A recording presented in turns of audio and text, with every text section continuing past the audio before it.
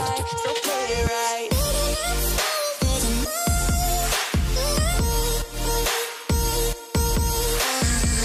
Hey everyone, welcome back to my channel. I'm trying not to smile because this like bunches up if I do.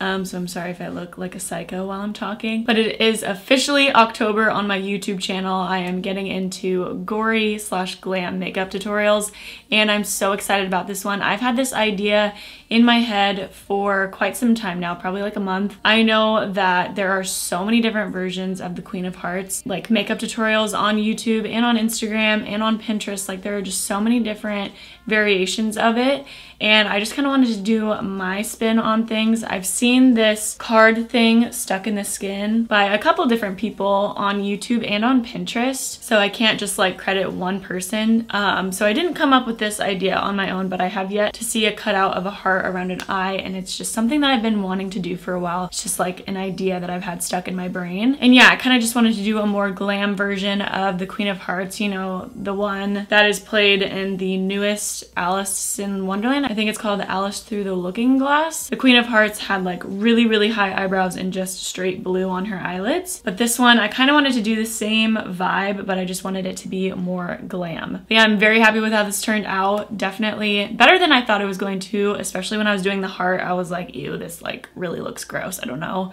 if it's gonna end up looking good. But I really enjoy how it turned out. I hope you guys do too. And I hope you guys get excited for the rest of the looks. I have a few more looks that I am like all ready to go for. And yeah, I just like love October. It's so fun to come up with different ideas and to like see it come to life. But yeah, enough rambling. Let's go ahead and get into the tutorial. So I'm first going to start off with some Elmer's stick glue, which is scary for me because I am really, really bad at this. Um, but I am just going to glue the outer half of my right eyebrow and then glue my whole left eyebrow down. I'm just basically putting a couple layers of glue on there while also brushing my hairs upwards, doing my best. I just don't know why I can never get this to work for me like how I want it to. Hairs always end up sticking up and stuff, so I just try my best. Then taking some liquid latex from Ben Nye and some tissue paper, I'm going to start creating the heart around my face. It's really easy. You just kind of layer the latex and the tissue paper on top of each other in the shape that you want it to be. It looks really gross until you start like painting on it. I mean, it looks like not how you want it to until you start like camouflaging it into your skin. And this is always the part that kind of tricks me and like makes me second guess the look. So I just have to like push through this and keep going until it looks how I want it to.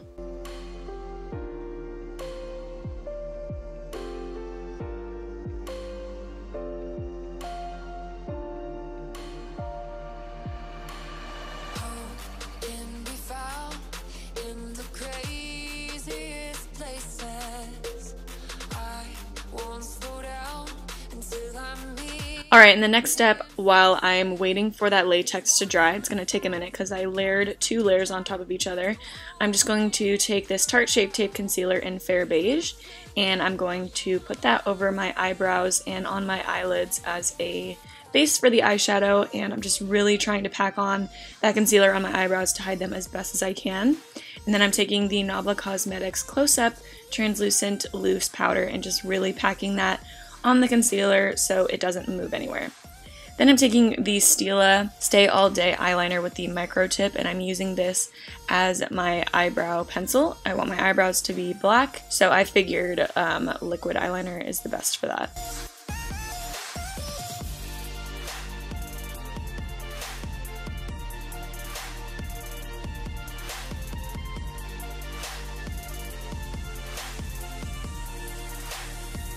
And then taking some of that Tarte Shape Tape Concealer and just carving them out, making them very like sharp and precise.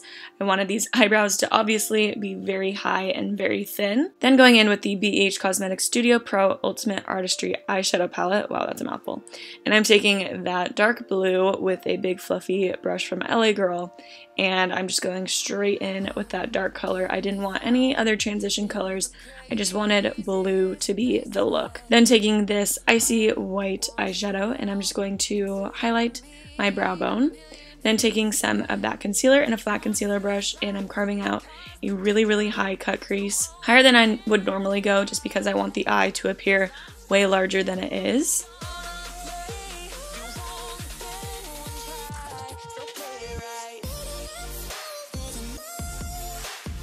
Then taking this icy blue eyeshadow and on that flat concealer brush, I'm just going to layer that on top of where I put the concealer. This eyeshadow is actually really, really pretty. It worked really well for me. And then taking that Stila eyeliner again, and I'm just going to line that on that cut crease part and then do a winged eyeliner, just kind of connecting the two together.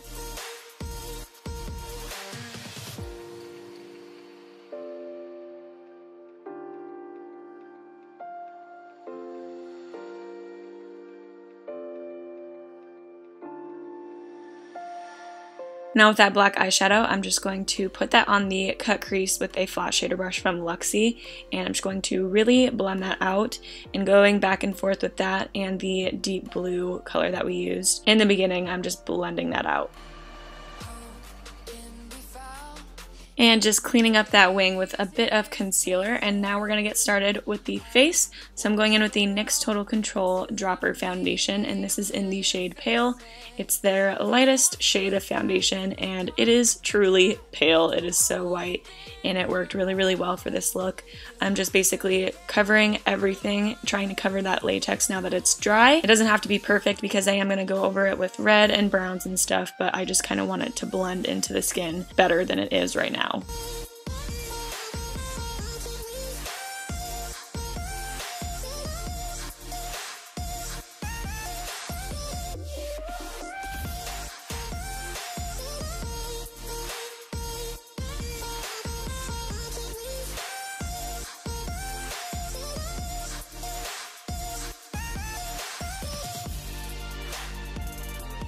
And just going over that foundation with some of that Nabla Cosmetics powder just so the foundation doesn't transfer anywhere.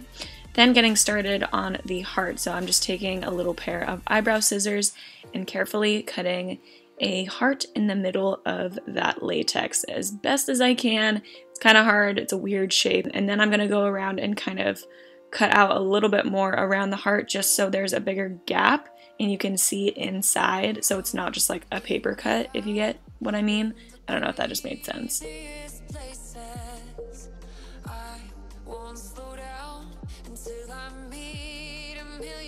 Then going in with the Wet n Wild paint palette in Bright, and I'm taking this bright red with a flat concealer brush and just going in between those slits and putting the red in there. It's not going to be this bright in the end, but you do want a red base in there so that it kind of pops. And then taking the Wet n Wild Neutrals paint palette. This thing is essential if you're wanting like a cheap SFX paint palette, especially if you're doing gory makeup on Halloween. I think it's so great. I use it every single year.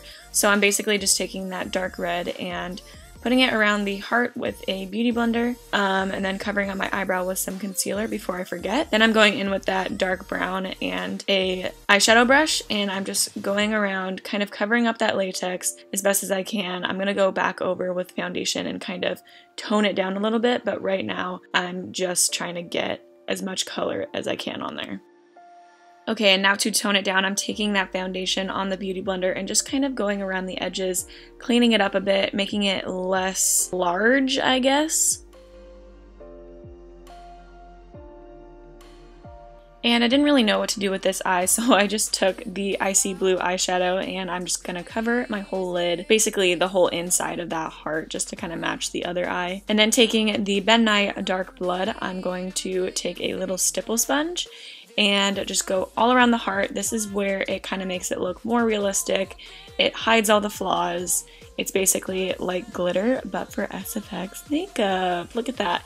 Then I'm taking some black eyeshadow on a concealer brush and I'm just going around the edges kind of just to create some depth and so you can see where those slits are, make them a little bit more noticeable. Then taking this Wet n Wild Liquid Catsuit eyeshadow in Goth Tears and adding some glitter to the look because what is Halloween makeup without glitter, am I right?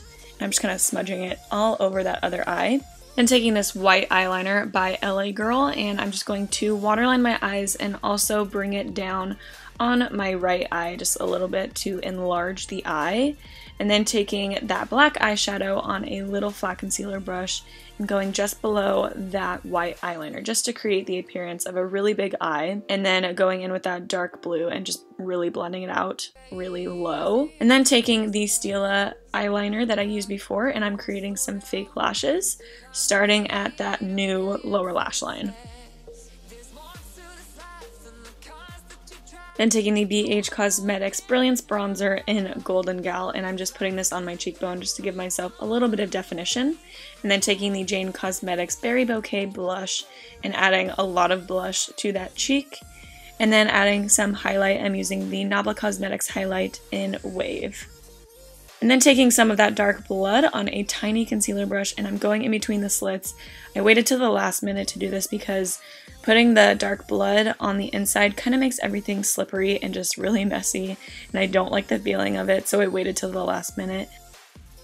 Alright, and now I'm taking the Queen of Hearts card and just another random card. I'm just going to use the back of it and I'm cutting out the shape of the heart so I can just stick it right there in the slit and I also used liquid latex to stick them together so they wouldn't fall out and then adding a little bit of dark blood around the edges just to make it look a little bit more realistic. Alright, and then taking the Lime Crime Venus XL palette, and I'm just taking this dark red called Aphrodite on a eyeshadow brush, and I'm just kind of creating a heart shape around my lips. I just wanted it to be very blended out, and I'm taking the, the Balm Meet Matte Hughes lipstick in Loyal, and I'm just kind of creating a heart shape. I didn't want it to be too precise, and then I'm taking some dark blood mixed with the liquid lipstick and just going around my lips with that stipple sponge.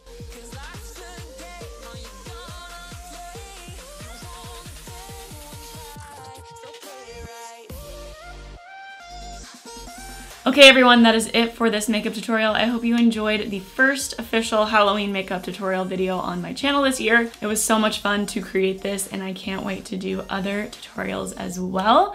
As always, if you guys have ideas, I'm always looking for new ideas and if one idea is cooler than the one that I already have, I'm gonna switch it out and do it. But yeah, that is pretty much it for this video. Thank you so much for watching. I love you and I will catch you in my next video. Bye guys.